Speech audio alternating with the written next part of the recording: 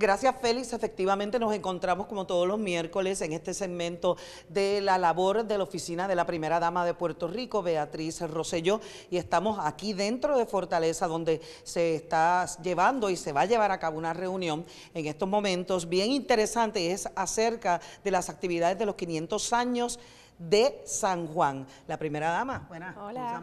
Un honor estar aquí con, contigo. Trabajando nuevamente. Trabajando mucho, pero con mucha ilusión. Este proyecto va a ser bien especial y no es tan solo para las personas de Puerto Rico, es para todo el mundo. Así que quisiera que cada uno se presentara y conociera este, este proyecto tan maravilloso que va a impactar la economía de Puerto Rico, los corazones, el turismo, todo, todos, todos los aspectos. Bueno, no se tiene que presentar el mismo, todos sabemos, el secretario de Estado, Luis Gerardo Rivera Marín. Pues mira, un saludo y realmente eh, es un privilegio poder colaborar nuevamente con la primera dama en otra iniciativa más Venimos trabajando en diferentes iniciativas impactando a las comunidades, desde lo que hicimos en Punta Santiago, lo que se ha estado haciendo con otras comunidades más vulnerables. Pues esta es una iniciativa en donde Puerto Rico celebra, después de recuperarnos y, trabajar eh, en lo que ha sido recuperarnos en María, nos toca, son 500 años, es la ciudad más antigua del hemisferio, así que Puerto Rico va a celebrar, la familia puertorriqueña va a disfrutar eh, de los eventos que estamos programando, culturales, artísticos, en donde recordamos nuestra historia, pero lo más importante,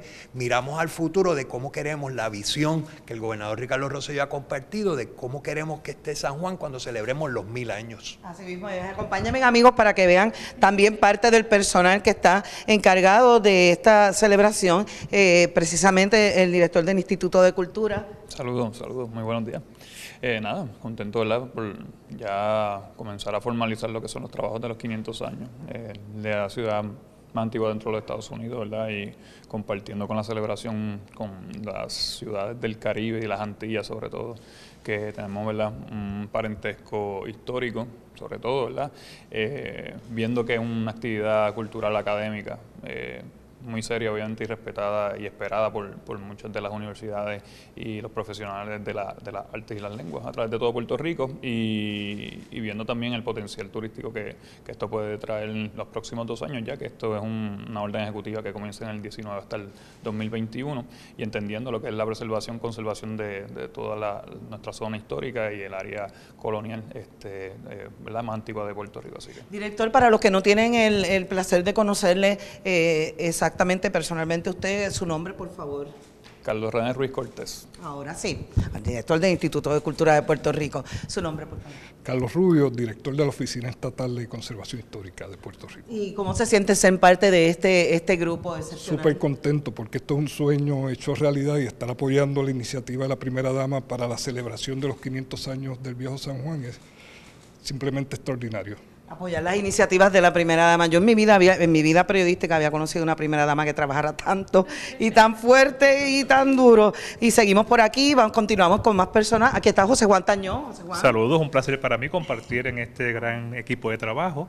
Hay mucho taller, mucha cultura, mucha historia y mucha alegría para compartir con todo Puerto Rico. Qué bueno, su nombre por favor. Ricardo Martínez Cima de Villa y trabajo para el Departamento de Estado me invitó el secretario a que formara parte del grupo y estoy muy contento de, de colaborar. Fantástico, su nombre, por favor. Hola, sí, buenas tardes. Pues mi nombre es Ruth Marrero, yo soy parte de este gran equipo de trabajo que va a ser unas actividades espectaculares, así que yo les sugiero a todos que estén presentes en esos momentos, porque va a haber muchas actividades y mucho trabajo que vamos a tener nosotros aquí.